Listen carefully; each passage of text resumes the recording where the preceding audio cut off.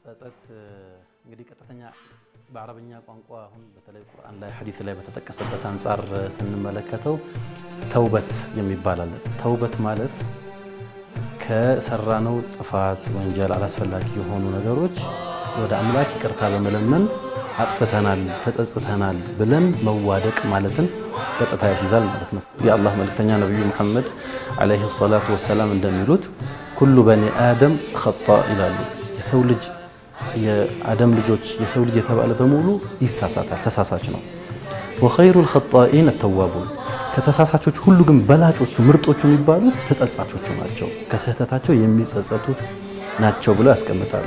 ተውበት ማለት ወይም ጸጸት ማለት አንድ ሰው ወደ ፈጣሪው ወደ አላህ መመለስ ማለት ነው። ወደ ፈጣሪው ካለበት አግባብ ያልሆኑ ባህሪያት ውስጣዊ የሆኑ ውጫዊ ውስጣዊና ውጫዊ የምለው በልብ አግባብ ያልሆነ አመለካከት፣ ውጫዊ ደግሞ በድርጊት በአመለካከት በየትኛውም ካሉ አግባብ ካልሆኑ ለፈጣሪ ያላዘዛቸውና አላህ ያላዘዛቸውና ለፍጡር የማይጠቅሙ የሆኑ አግባብ ካልሆኑ ማንነቶች አግባብ ወደ ሆኑ ማንነቶች መመለስ ተውበት ይባላል። ቁርአን ላይ ለዚህ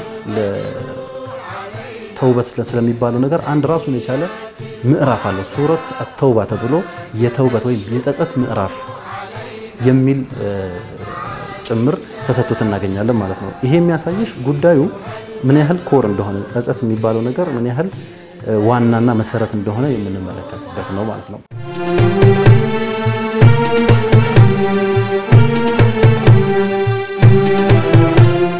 አንድ ሰው ተጸጽቷል ሊባል ግዴታ አራት ነገሮች በሱ ላይ መገኘት አለባቸው። አንዱ ካለበት ከሚጸጸትበት ባህሪ ውልቅ ብሎ መውጣት መቻል አለበት። እንግዲህ የሚጸጸተው ከሆነ አቋም ከሆነ ማንነት አይደል፣ ከዛ 100% በሙሉ ሁኔታው መውጣት መቻል አለበት። ላይመለስበት ወደዛ ነገር ላይመለስበት ለራሱም ለፈጣሪውም ቃል መግባት አለበት። ነገ መለስበታለሁ፣ ለዛሬ ግን ተጸጽቻለሁ የሚባል ነገር ስለሌለ ሶስተኛው ለምን ሰራውት መጀመሪያ ጸጸት የሚለው እንግዲህ ጸጸት ተውበት የሚለው ቃል ጸጸት በሚለው ተተረጎመም ለዚህ ነው። ለምን ሰራውት? ለምን ፈጣሪ እንደፈርኩት? ለምን በሰዎች አጓደልኩኝ? ለምን ሰዎች ላይ ድንበር አለፍኩኝ ብሎ በሰራው ስራ መጸጸት መቻል አለበት። አራተኛው ከፈጣሪ ዘንድ ማይገናኝ ግን ከሰው ልጆች ጋር የሚገናኝ በደል ለምሳሌ የሆነን ሰው ብር ተበደርኩት፣ መመለስ በነበረብኝ ሰዓት አልመለስኩለትም። ባለመመለሴ ያ ሰው ተከፍቷል። በቃ ይቅር በለኝ ብለን እስካልጠየቅነውና ይቅር ብያቸዋለሁ እስካላለ ድረስ ያ ወንጀል ወንጀል እንደሆነ ይቀራል። ፈጣሪ ሌሎቹን ነገሮች ምሯል። የሰውን ሐቅ ግን ሰውየው ራሱ ነው የሚታሳስበው።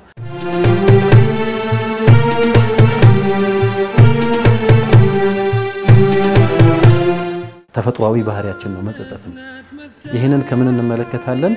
የነቢዩላህ አደም ዓለይሂ ሰላም የአባታችን የአደም ልጆች ሀቢልና ቃቢል ወይም አቤልና ቃየል ሁለቱ በነበራቸው አለመግባባት ምክንያት ቃየል አቤልን ይገድለዋል፣ ወይም ቃቢል ሀቢልን ይገድለዋል።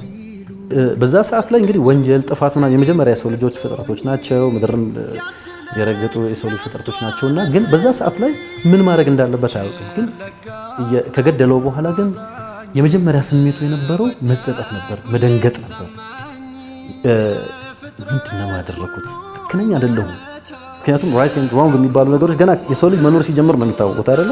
ግን instinct ደግሞ አለ፣ ተፈጥሯዊ ባህሪ አለ፣ መደንገጥና ወይኔ የሚል ነገር ማለት ነው።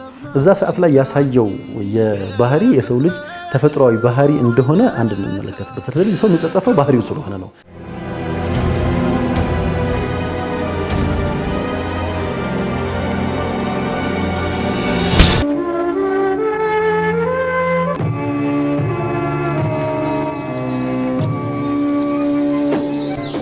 ያ ዒባዲ እናንተ መወዳችሁ ባሮቼ ሆይ በነፍሶቻችሁ ላይ ድንበርን ያለፋችሁ ጥፋተኛ ወንጀለኛ ምናምን እንኳን አይደለም በነፍስህ ላይ ድንበርን ያለፍክ ባሪያዬ ሆይ ከጌታችሁ እዝነት ተስፋ እንዳትቆርጡ። ያ ማለት ለጸጸት መቼም በር አይዘጋም፣ ግን የምትዘጋበት ጊዜ አለ። ይህ ሁለት ጊዜ ላይ ተውበት ወይም ደግሞ የጸጸት በር ይዘጋል። የመጀመሪያውና ትልቁ የሰው ልጅ የሞት አፋፍ ላይ እያለ ወይም ደግሞ ጣዕረ ሞት ብለን የምንጠራው ሰዓት ላይ እያለ ወይም ገርገራ ይባላል በአረብኛው አጠራር። እዛ ሰዓት ላይ ሆኖ ሰው መጸጸት አይችልም። ለዚህ ምሳሌ የፈርዖንን ታሪክ ያነሳል ቁርአን ላይ የፊርዓውን ፊርዓውን ነቢዩላህ ሙሳ ወይም ሙሴ ዓለይሂ ሰላም በተደጋጋሚ መልእክቱን ሲያስተላልፉለት በ normal ወይም በደህናው ሰዓት እምቢ አለ። ከዛ በኋላ ቀጥሎ የተከሰተው በቃ ህዝቦችን ይዘህ ከግብፅ ምድር ውጣ ተብሎ ታዘዘ። ወጥቶ የባህር ገጠመው። እዚህ ሰዓት ላይ ግን ልክ የጣዕረ ሞት ውስጥ ሲገባ ፈርዖን ተጸጸተ። ታየው፣ እውነቱ በደንብ ተገለጠለት። ያለው ነገር የተአምር ጉዳይ እንደሆነ ይሄ በሰው አቅም የሚሰራ ሳይሆን የፈጣሪ ጣልቃ ገብነት እንዳለ ከተረዳ በኋላ ምን አለ አልአን አመንቱ ቢለዚ አመነት ብሂ በኑ እስራኤል የእስራኤል ልጆች ባመኑበት አምላክ አምኛለሁ ብሎ ልክ እየሰመጠ ያለ መመስከር ሲጀምር መላእክት የባህር ያረጠበውን አሸዋ ወይም አፈር እያመጡ አፉ ውስጥ መጨመር ጀመሩ። ከዚህ በኋላ በሩ ተዘግቷል።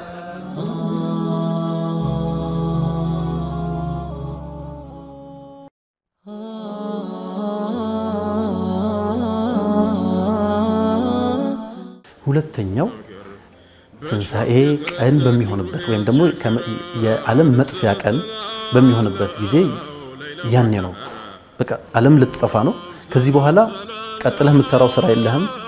ጸጸትህን የምትገልጽበት ጸጸት የሚገለጽባቸው ብዙ መንገዶች ስላሉ ማለት ነው። የምትሰራው የመጨረሻው እድል ነው።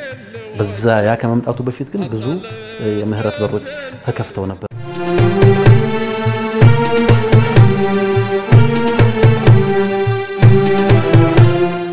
አውፍ የምንለው ቃል ይቅርታ አድርግልኝ ብሎ ሳይጠይቅ በዳዩ አካል የሚደረግለት ይቅርታ አውፈታ የሚባለው። አላህ ሲናገር እነማን እንደሆኑ አለዚነ ዩንፊቁነ አምዋለሁም ፊ ሰራኢ ወደራኢ ወልካዚሚነ አልገይዝ ወልዓፊነ አን ናስ ይላል።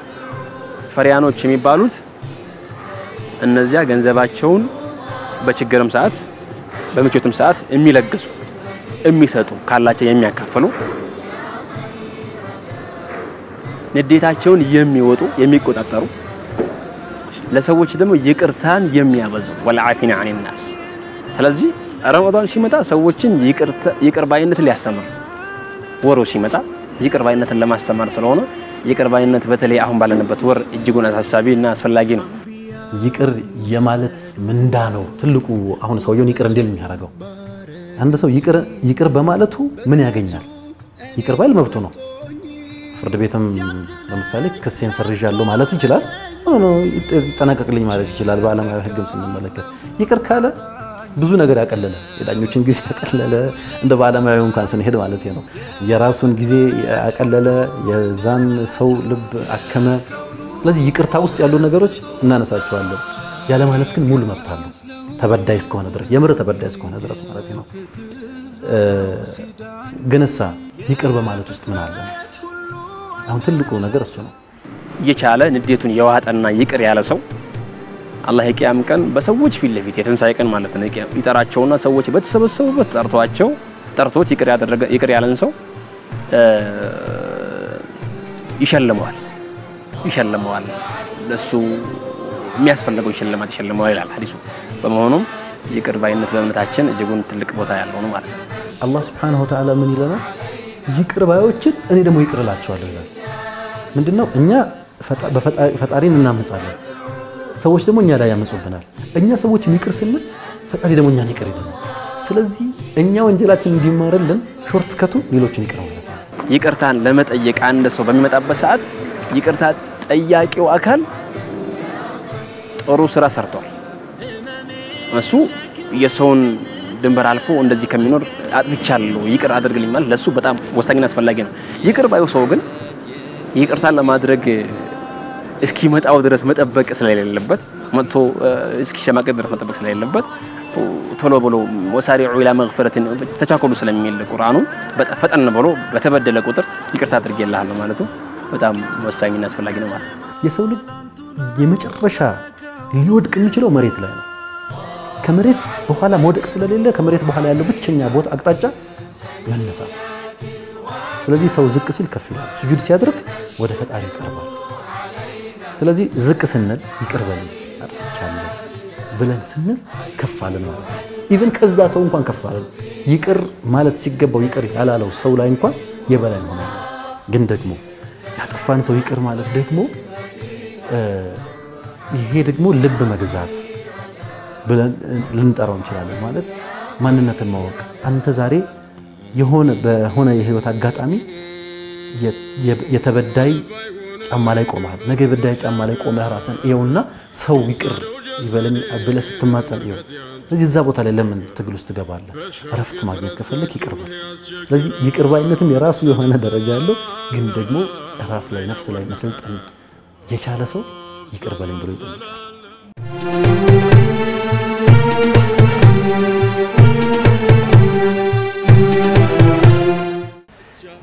የይቅር ባይነት ስሜት እኛ ሀገር ላይ በጣም exponentially ማደግ የሚገባበት ሀገር ነው። ለምን ይነስም ይብዛ ሁላችንም አማንያን ነን ብለን እንናገራለን። የትኛውም ሃይማኖት ደግሞ ይቅር ባይነትን ቁንጮ አድርጎ ነው የሚይዘው።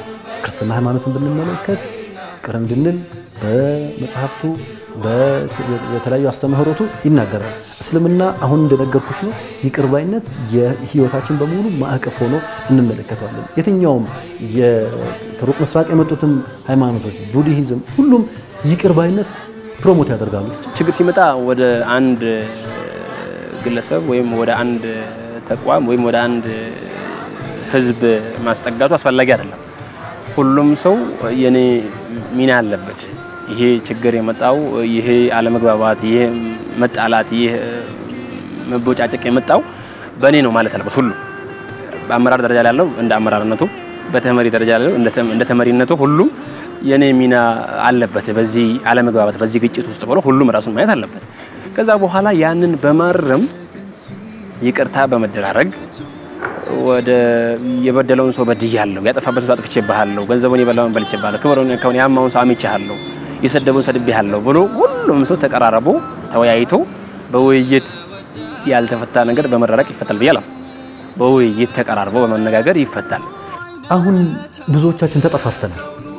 እኔ ጥፋት አጥፍቻለሁ፣ ያም ጥፋት አጥፍቶብኛል። በእምነት ተጠፋፍተናል፣ በዘር ተጠፋፍተናል፣ በብሔር ጥፋት አጥፍተናል እርስ በርሳችን፣ በድንበር፣ በሰፈር፣ በመንደር፣ በስራ፣ በንግድ አንዱ አንዱን እንዲከሰር ለማድረግ ብዙ የሚፈነቅለው ጉዳይ ይኖራል። Okay፣ ይሄ ነገር ግን አያኖረንም፣ እያኖረንም አይደለም። ሰላም ሲሰፍን በማህበር ይህንን አፈር share ስናድርግ ስንጋራ፣ በጋራ ስንሆን ነው እንጂ አንዱ አንዱ ላይ ጥላቻን የሚነዛ የሚዘራ ከሆነ አንኗኗርም። ቂም የሚባለው ነገር የሰው ልጅ በቃ ጥቁር part አለ፣ ነጭ part አለ የሰውነታችን ልባችን ውስጥ ማለት ነው። ያ ጥቁር part እያደገ እያደገ እያደገ ሲመጣ ልባችን የሚሸፍነውና ይደነደናል። ይሄ የደነደነ ልብ ለይቅር ለጸጸትም ቦታ አይኖረው። ስለዚህ እንደዛ እንዳይደነድን ቶሎ ቶሎ ማጠብ አለብን። የሚታጠበው በይቅርታ ነው። የነቢ መሐመድ ዓለይሂ ሰላቱ ሐዋርያት ከመካ ወደ መዲና ከመሄዳቸው በፊት ወደ ሀበሻ ነው የመጡት። ያኔ ንጉስ ነጃሺ ሲቀበላቸው ሱረቱል መርየም የሚባለውን ምዕራፍ ቀርቶላቸው ምንድን ነበር ያደረገው? ከዛ ለተላኩት ከመካ ለተላኩት ሰዎች እዚህ ያሉ ስደተኞችን አስረው ጠፍረው ይዘውላቸው እንዲሄዱ የተላኩትን ሰዎች ንጉስ ነጃሺ ያላቸው አንድ ነገር ነበረ። እነዚህን ስደተኞች ለናንተ ከወርቅ በተሰራ ተራራ እንኳ ተራራ ተራራ የሚያክል ወርቅ በታመጡልኝ አልሰጣቸው። ስለዚህ ይሄ ሀገሪቷ የእውነት የመተሳሰብ እንኳን ለራሷ ለራሷ ዜጋ ለራሷ ሰው ቀርቶ ለየትኛውም እስካሁን ድረስ የታሪኳ አንዳንዴ ይታያል። በመሆኑም ይቅር በመባባልና በመነጋገር ጉዳያችንን እኛው በእኛው ብንፈታው ባይነኝ ነው። የከውኑ ሞገስ ስጦታ። ቸር ለጋስ ለሁሉ አዛኝ የፍትህ ዘብ ነው ሲዳኝ። የፍጥረት ሁሉ አይነ